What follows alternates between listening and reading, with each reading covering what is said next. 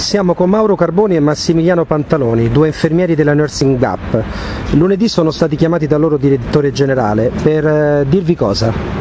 E ci ha, ci ha comunicato eh, che è stato chiamato in eh, regione e che ora è affidato al commissario ad acta, al dottor Bondi e, e, e praticamente ha ricevuto l'informazione che eh, il San Filippo Neri sarebbe stato disattivato. Eh, subito dopo eh, praticamente eh, il direttore generale ha, eh, diciamo, a fine giornata ha elaborato una nuova proposta che eh, ha invece ipotizzato il taglio di 170 posti letto. Quindi nel giro di pochi mesi questo ospedale alla fine sarebbe chiuso?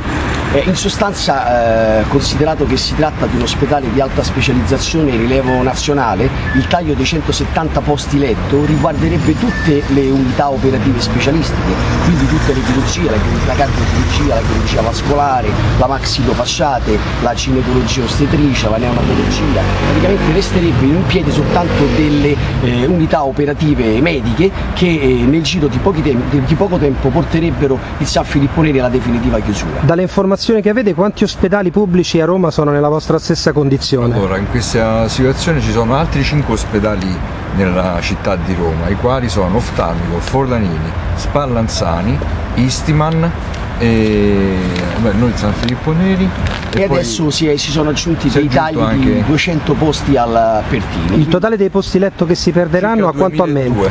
E i lavoratori di questo settore quanti sono a rischio a questo punto? Eh, I lavoratori qui al San Filippo Neri in totale eh, sono circa 2000.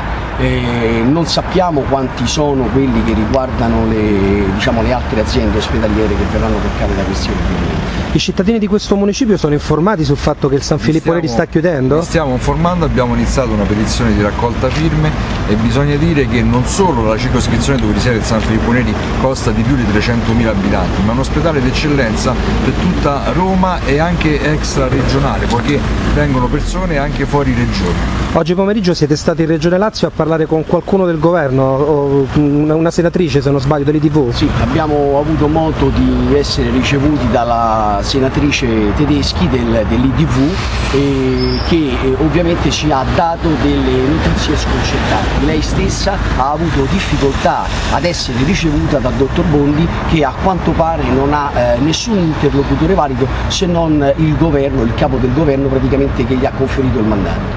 Avete fatto delle proposte voi come, come parte eh, interessata a questi provvedimenti Guardi, del governo? Le proposte purtroppo al momento non si possono fare perché loro vogliono assolutamente tagliare il sistema sanitario pubblico a favore sicuramente di quello privato. Nostre, eh, questa è la nostra idea. Qui stanno cancellando l'articolo della Costituzione italiana. Grazie, in bocca al lupo.